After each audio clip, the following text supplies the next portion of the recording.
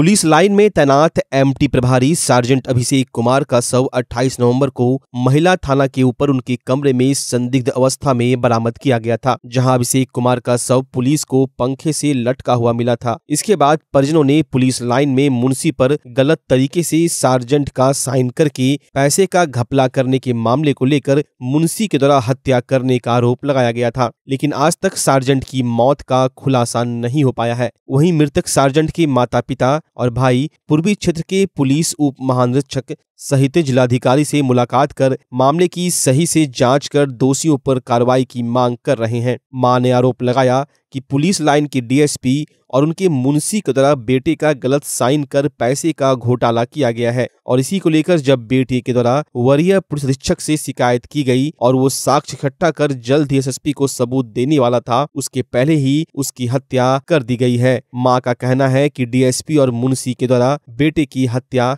की गई है। सर लाइन डीएसपी हमको बेटा के मार के और लटका दिया। पहला पे उसका ही कॉल कर रहा है। उसको कॉल के चेक नहीं किया जा रहा है। डीएसपी का।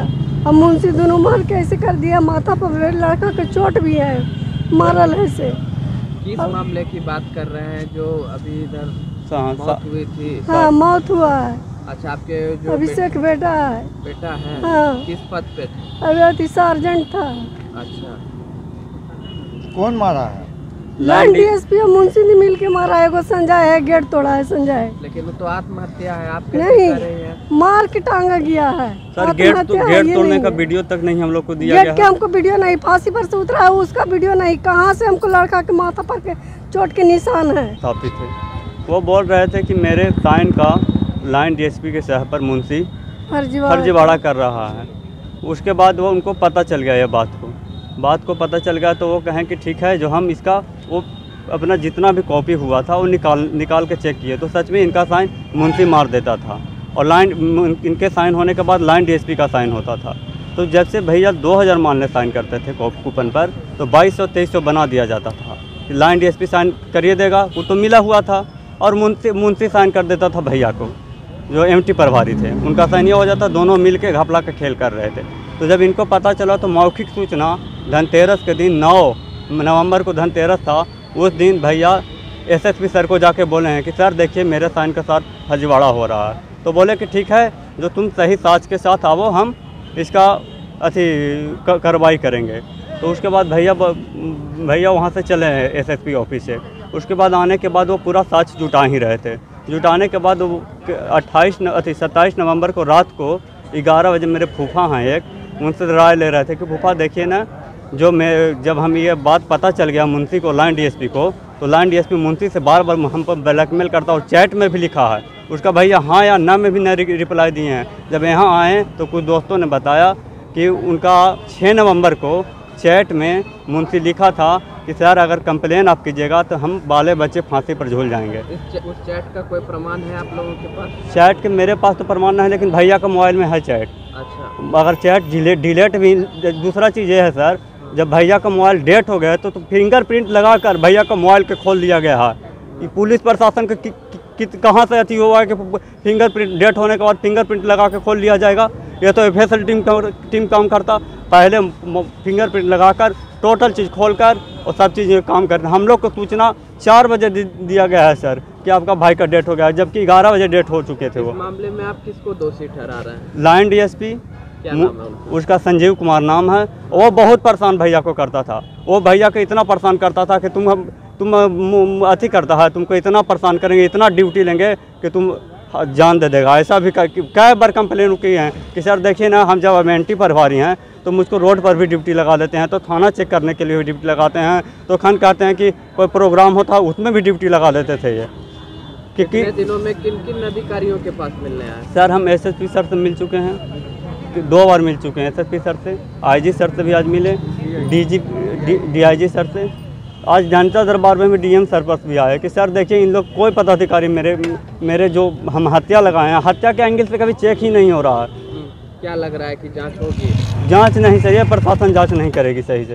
ये प्रशासन जाँच नहीं करते हैं हम डीजीपी सर से मांग करते हैं कि सर पटना से सर एसआईटी में पहला बार ऐसा हम सुने हम भी अनपढ़ नहीं हैं कि एसआईटी जिस प्रशासन पर हम आरोप लगाए हैं उसी प्रशासन का तो एसआईटी बन जाए। ये तो पहला बार हम आज तक देख रहे हैं सर। मृतक जो हैं उनका क्या नाम है? अभिषेक कुमार। सार्जेंट।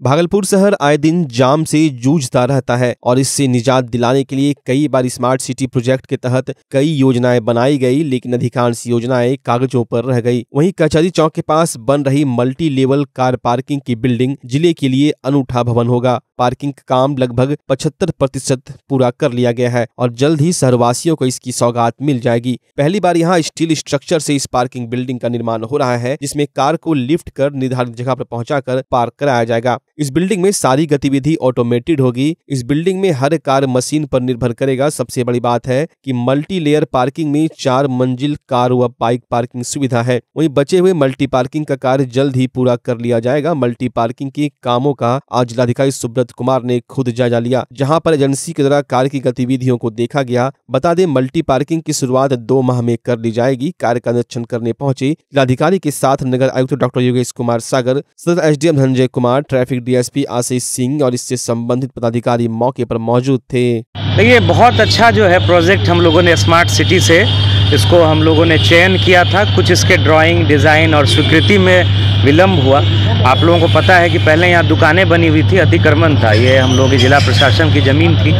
तो इसमें भी माननीय उच्च न्यायालय में केस भी हुआ था। तो उसको हम लोगों ने फिर खाली करवाया। और ये लगभग आठ करोड़ की लागत से, मल्टी लेवल पार्किंग है। इसमें आप देखेंगे कि ऑटोमेटेड सिस्टम है। और इसमें उनचालीस जो है, फोर व्हीलर्स के रखने की व्यवस्था है और जिसमें सात एसयूवी गाड़ियाँ भी जो है नीचे वाले फ्लोर पे, जो बड़ी गाड़ियाँ होती हैं, वो भी रह सकती हैं। और सेडान और ये सब मिला करके 39 जो है फोर व्हीलर्स के लिए और 44 जो है मोटरसाइकिल्स के लिए। यहाँ पर पार्किंग की व्यवस्था की गई है। शुल्क भी एकदम मिनिमम रहेगा। जो नॉर्मल शुल्क होता है, वही रहेगा। एजेंसी को तीन साल तक इसका मेंटेनेंस ऑपरेशन सारा देखना है। यहाँ बहुत इसका सामने का लुक हम लोगों ने बहुत अच्छा बनाया, जो सामने का फसाड वगैरह डेवलप होगा। एक कैफेटेरिया रहेगा।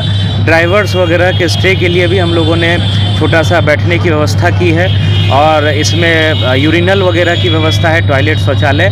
और जो ई व्हीकल्स का ज़माना है, आप देखेंगे ई रिक्शा चल रहा है, कई सारे फोर व्हीलर्स भी जो इलेक्ट्रिक व्हीकल आ रहे हैं। तो उसके लिए भी चार्जिंग पॉइंट यहाँ लगाया गया है। मिनिमम शुल्क में यहाँ अपनी जो इलेक्ट्रिक व्हीकल्स है, उसकी चार्ज चार्जिंग भी जो है आप यहाँ करा सकते हैं। तो काम इसमें अंतिम चरण में है क्योंकि बहुत ही ऑटोमेटेड और एक तरह का नया सिस्टम है।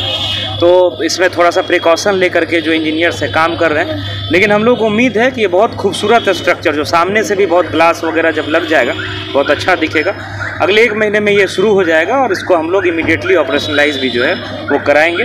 और ये एक बहुत बड़ी सौगात जो है भागलपुर शहर वासियों को ज़िले वासियों को, जो आसपास से भी लोग आते हैं।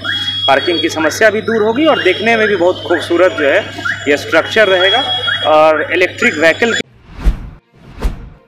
बच्चा जब जन्म लेता है तो कई बार बच्चा तुरंत नहीं रोता है, रोने में देर हो जाता है। ऐसे में बच्चा क्षतिग्रस्त हो जाता है और उसके बचने की संभावना कम हो जाती है और यदि बचा तो भविष्य में उसमें विकलांगता की समस्या आती है, जिसे सीपी कहते हैं, जिसका कोई माकूल इलाज नहीं है और ज़िंदगी भर बच्चा विकलांगता से जूझ सकता है। ऐसे में पूरे संसार में कूलिंग थेरेपी का सहारा लिया जाता है।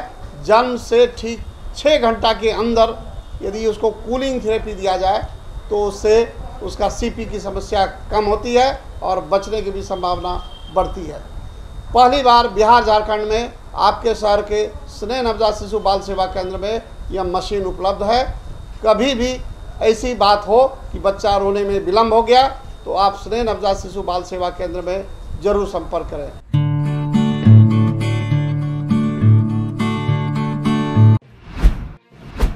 तिलका मांझी थाना क्षेत्र के नौलखा गेट के समीप शुक्रवार की दोपहर बाइक को बचाने के चक्कर में टोटो ने पलटी मार दी। इस घटना में टोटो पर सवार तीन युवती समेत टोटो चालक गंभीर रूप से घायल हो गया। घटना के बाद स्थानीय लोगों के सहयोग से घायल को इलाज के लिए स्थानीय अस्पताल में भर्ती कराया गया है, जहाँ पर इलाज चल रहा है। टोटो चालक के हाथ में गंभीर चोट लगी है। दो युवती को सिर में चोट आई है। प्राप्त जानकारी के अनुसार मनाली चौक से तिलका मांझी की तरफ़ तरफ़ जा रहे तेज रफ्तार बाइक को बचाने के चक्कर में तिलका मांझी की तरफ़ से मनाली की ओर जा रहे ई रिक्शा ने पलटी मार दी। हालाँकि सड़क के किनारे लगे एक और टोटो भी क्षतिग्रस्त हो गया। घटना में कुल चार लोग गंभीर रूप से घायल है। इधर घटना के बाद मोटरसाइकिल सवार मौके से फरार हो गया है। लालूचक अंगारी निवासी ई रिक्शा चालक पवन कुमार ने बताया कि बरारी से वो सवारी लेकर नाथनगर की तरफ़ जा रहा था। इसी दौरान नौलखा के समीप मनाली की तरफ़ से आ रहे तेज रफ्तार बाइक को बचाने के चक्कर में ब्रेक लगाया तो टोटो पलट गई। हालाँकि घटना में दो ई रिक्शा क्षतिग्रस्त हुआ है। घायल काजल का कहना है कि दांत दिखवाने के लिए वो बरारी से नाथनगर की तरफ़ जा रही थी। तभी हादसा हो गया। इस संबंध में तिलकामांझी थाना अध्यक्ष प्रिरंजन ने बताया कि घटना की जानकारी नहीं है। हम लोग रूप बिहार के पास बैठे तेतारपुर जा रहे थे नाथनगर जाते उसी में टोटो ही पलट गया। वहाँ सैंडिस के पास। हाँ। क्या हुआ फिर उसके बाद? उसके बाद हम लोग को वहीं के सब दो तीन गो आदमी सब मिल के यहाँ बैठा दिए टोटो पे फिर आए यहाँ पे तब भाड़ा दिए। क्या हुआ? यहाँ पे वो एक्सरे करवाए। क्या निकला? फ्रैक्चर है। हाँ क्या नाम है तुम्हारा? मेरा नाम आरती है। मोनिका। कर्जा हो होगा। कुछ ना होगा। हो जाएगा अच्छा बताओ क्या हुआ? हम इधर से आ रहे थे हम इधर से आ रहे थे सर। उधर से मोटरसाइकिल ये साइड मेरा जाने का है कि नहीं? ये साइड है ना भैया? मोटरसाइकिल उधर से आने का कौन साइड है? वो साइड है ना? वो एक बैग से आ करके हम पैसेंजर और गाड़ी बचाने के लिए मेन रोड पे पलटी मारता है। तो हम इधर अपना साइड घुसाएँगे भैया कि रॉन्ग साइड में पलटाएँगे। बोलिए। गाड़ी को हम ब्रेक मारते मारते मतलब ब्रेक मारते मारते ऐसे किए। गाड़ी से पलटी हो गया वो मोटरसाइकिल सटा के निकल गया ऐसे भाग तुम्हारी गलती है कि नहीं? मेरा कोई गलती नहीं भैया मेरा कोई गलती नहीं। है और पैसेंजर पैसेंजर को क्या चोट लगा है कि तुमको भी चोट लगा है? हमको तो चोट यहाँ भी लगा खटा फटा यहाँ भी चोट लगा। है। क्या नाम है तुम्हारा? कुमार। जीवन, जागृति सोसाइटी की ओर से जरूरतमंद लोगों के बीच लगातार कंबल का वितरण किया जा रहा है। इसी क्रम में आज सोसाइटी के अध्यक्ष अजय कुमार सिंह के नेतृत्व में भित्ती मंदिर प्रांगण में 35 से 40 जरूरतमंदों के बीच कंबल का वितरण किया गया। इस पुनीत कार्य में नेत्र रोग विशेषज्ञ डॉक्टर पुनीत परशुरामपुरिया का अहम सहयोग रहा। वहीं ठंड के बढ़ते मौसम में गरीबों की परेशानी को देखते हुए समय समय पर सोसाइटी द्वारा मदद पहुंचाई जा रही है, जो काफ़ी सराहनीय है। कड़ाके की ठंड में जरूरतमंदों की सेवा ही मानवता की सेवा है। सोसाइटी अध्यक्ष अजय कुमार सिंह ने कहा कि सोसाइटी हमेशा लोगों की समस्याओं को दूर करने का हर संभव प्रयास करती है। मानव सेवा करना परम धर्म है। इस अवसर पर 35 से 40 जरूरतमंदों को कंबल दिया गया। मौके पर सोसाइटी के अध्यक्ष डॉक्टर अजय सिंह के अलावा महिला प्रकोष्ठ के सचिव, आभा पाठक, डॉक्टर पुनीत परशुराम पुरिया, राज सिंह, रजनीश, मृत्युंजय, ग्रामीण अरविंद कुमार सोलंकी सहित कई लोग मौजूद थे। हर साल हम लोग हज़ारों कंबल बांटते हैं और यह कंबल हमें मिलता है लोगों के डोनेशन से। सिर्फ़ अध्यक्ष अपनी तरफ़ से नहीं देते हैं, उनका भी सहभागिता रहता है। लेकिन जैसे आज डॉक्टर पुनीत परशुरामपुरिया जो भागलपुर के प्रसिद्ध नेत्र रोग विशेषज्ञ हैं, अति, अत्याधुनिक मशीनें हैं इनके पास। इनके सहयोग से आज कंबल वितरण यहाँ किया जा रहा है। कई लोग गुप्त दान करते हैं। नवगछिया के एक व्यक्ति अस्सी कंबल पहुँचा दिए हमें। और इसी तरह से और भी लोग डोनेट करते हैं और इस तरह से लोगों को लगातार ये ठिठुरती ठंड में हम लोग जागरूकता करते हैं। बहुत ही नेक कार्य है। तो हमारी कोशिश है कि जितने ज़रूरतमंद हैं सबको अपनी तरफ़ से जितना सहयोग हो सके इस संस्था के माध्यम से पहुँचाया जा सके। कौन सी संस्था ये कार्य जीवन जागृति सोसाइटी संस्था है जो निरंतर कई सालों से हर क्षेत्र में बहुत अच्छा कार्य कर रही है और काफ़ी लोगों की मदद की जा रही है हमारे क्षेत्र में। विगत कई वर्षों से जीवन जागृति सोसाइटी हमारे अध्यक्ष डॉक्टर अजय कुमार सिंह जी के द्वारा, उनके नेतृत्व में बहुत सारे क्षेत्र में कार्य किया जाता है। और जिसके अंतर्गत मुख्य रूप से लाइफ सेविंग जो कार्यक्रम हैं, वो जीवन जागृति लगातार करती आ रही है। जैसे सड़क दुर्घटना, जल दुर्घटना, अग्नि दुर्घटना, सर्वदंश दुर्घटना, इन सब क्षेत्र में जागरूकता, बचाव और बहुत सारी चीज़ें हैं और ये सब चीज़ें की जा रही हैं। जीवन जागृति सोसाइटी के तरफ़ से, डॉक्टर अजय कुमार सिंह के तरफ़ से ये कंबल वितरण का कार्यक्रम रखा गया है। गरीब महिलाओं विधवा महिलाओं के लिए ये कंबल का ठंडी ठंड में कंबल का व्यवस्था किए हैं। हम समस्त ग्रामवासी, डॉक्टर अजय सिंह जी का बहुत बहुत धन्यवाद और इस तरह का प्रयास आगे करते रहते हैं। आगामी 24 जनवरी को पटना वेटनरी कॉलेज मैदान में जननायक कर्पूरी ठाकुर के जन्म शताब्दी समारोह कार्यक्रम का आयोजन किया गया है। कार्यक्रम को सफल एवं अधिक से अधिक संख्या में भागीदारी सुनिश्चित करने के लिए प्रमंडलीय स्तर पर भागलपुर स्थित ज़ीरो माइल में जदयू पार्टी की एक बैठक आयोजित की गई, जिसमें कार्यक्रम प्रभारी प्रहलाद सरकार, जिला जदयू अध्यक्ष विपिन बिहारी सिंह, जिला जदयू प्रवक्ता शिशुपाल भारती, पूर्व विधायक लक्ष्मीकांत मंडल सहित प्रमंडलीय स्तर पर काफ़ी संख्या में कार्यकर्ता उपस्थित थे। कार्यक्रम के बारे में जदयू प्रवक्ता शिशुपाल भारती ने जानकारी दी। उसी कार्यक्रम में भागलपुर से अधिक से अधिक संख्या में पार्टी के पदाधिकारी, पार्टी के कार्यकर्ता, पार्टी के प्रति सहानुभूति रखने वाले साथी, सबों को चलना है। हमारा जो आगामी चुनाव है, लोकसभा का उस चुनाव को भी ध्यान में रखते हुए और हमारे पार्टी के सर्वमान्य नेता, सूबे के मुखिया माननीय मुख्यमंत्री नीतीश कुमार जी पार्टी के राष्ट्रीय अध्यक्ष बने हैं। तो उसके अध्यक्ष बनने की खुशी में भागलपुर से जो अधिक से अधिक संख्या में साथी जाने के लिए तैयार हैं, उसी का हम लोग तैयारी कर रहे हैं कि जाने का जो पटना का रास्ता होगा, उस रास्ते में कैसे हम लोग मिलजुल के चलेंगे। पूरे भागलपुर जिला से हमारा टारगेट यहाँ से दस हज़ार जाने का है। भागलपुर जिला से दस हज़ार की संख्या में साथी, सभी प्रकोष्ठ के जिला अध्यक्ष प्रखंड अध्यक्ष और तमाम प्रदेश के पदाधिकारी जो भागलपुर जिला के अंतर्गत आते हैं, प्रमंडल के प्रभारी प्रहलाद सरकार साहब जिला संगठन के प्रभारी राजेश कुशवाहा जी, संतोष सहनी साहब, मान्य पार्टी के राष्ट्रीय महासचिव, पूर्व राज्यसभा सांसद ककसा प्रवीण साहिबा, पार्टी के सम्मानित जिला अध्यक्ष विपिन बिहारी सिंह साहब आज कार्यक्रम की अध्यक्षता कर रहे हैं। मन संचालन डॉक्टर राजदीप राजा साहब महानगर अध्यक्ष कर रहे हैं। बड़े भाई संजय राम साहब, सभी जिला के प्रकोष्ठ अध्यक्ष, सभी प्रखंड के प्रखंड अध्यक्ष जिला के तमाम पदाधिकारी, प्रदेश के तमाम पदाधिकारी और राष्ट्रीय पदाधिकारी जो भी इस जिला के अंतर्गत हैं, सब लोग आज उपस्थित हैं, हमारे साथ उपस्थित हैं। आज हिमायू जी, मोहसिन साहब, संजीव जी नगर पंचायत कहलगांव के अध्यक्ष, साथी पिछड़ा प्रकोष्ठ के अध्यक्ष, सभी साथी के साथ मिलजुल कर आज बैठक हो रही है, बात बिहार के सभी विश्वविद्यालय में संगठनों को समाप्त करने को लेकर उच्च शिक्षा विभाग के द्वारा पत्र जारी किया गया है। इसके विरोध में 9 तारीख को जहाँ शिक्षकेत्र कर्मचारियों के द्वारा काला बिल्ला लगाकर विरोध किया गया था, वहीं आज पूरे बिहार में एक दिवसीय स्ट्राइक किया गया है, जिसको लेकर तिलकामांझी भागलपुर विश्वविद्यालय के शिक्षक शिक्षकेत्र कर्मचारियों के द्वारा हड़ताल किया गया। वही बिहार सरकार और विश्वविद्यालय के खिलाफ जमकर नारेबाजी की गई कर्मचारियों का कहना है की उच्च शिक्षा विभाग के द्वारा जो आदेश निर्गत किया गया है, उसे अविलंब वापस लिया जाए। भागलपुर के कहलगांव से एक ऐसी राम भक्त की खबर सामने आई है, जिसे जानकर आप सोच में पड़ जाएँगे। भागलपुर ज़िले के कहलगांव के दो छात्र अनुपम और संदीप ने कहा कि हमारे सपने में भगवान श्री राम आए और उन्होंने हमें अयोध्या बुलाया है। इसी बाबत हम लोग दोनों साइकिल से ही अयोध्या यात्रा पर निकल गए हैं। दोनों छात्र जिस शहर से गुजरते हैं, लोग उनके स्वागत में उमड़ पड़ते हैं। जिस शहर से दोनों छात्र गुजरते हैं, उनके ऊपर पुष्प माला पहनाकर पुष्प वर्षा की जाती है। बता दे, संदीप बीसीए की पढ़ाई कर रहा है। साथ ही अनुपम शादी विवाह में फोटोग्राफी का काम करता है। बाईस को राम मंदिर की प्राण प्रतिष्ठा में शामिल होने के लिए दोनों युवक साइकिल से कहलगांव घोगा सबौर, भागलपुर, नाथनगर, सुल्तानगंज होते हुए अयोध्या जाएँगे। संदीप और अनुपम ने बताया की कहलगांव से करीब सात सौ किलोमीटर की दूरी पर अयोध्या है, जिसको लेकर प्रत्येक दिन 80 किलोमीटर सफ़र तय कर रहा हूँ।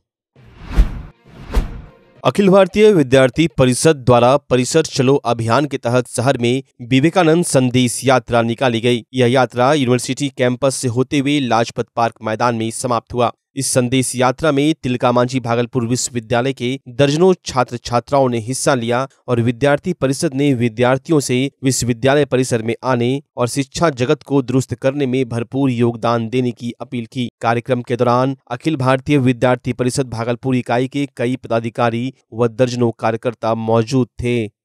अखिल भारतीय विद्यार्थी परिषद ने इस वर्ष अपना अभियान लिया है। परिषद चलो अभियान। परिषद चलो अभियान के तहत हम लोग विश्वविद्यालय के सभी कैंपसों में जाएँगे एवं घर घर से छात्रों को निकाल, निकालने के लिए विद्यार्थी परिषद का यह अभियान वर्ष भर चलाया जाएगा, जिसका आज शुभारंभ इस विश्वविद्यालय कैंपस से किया जा रहा है।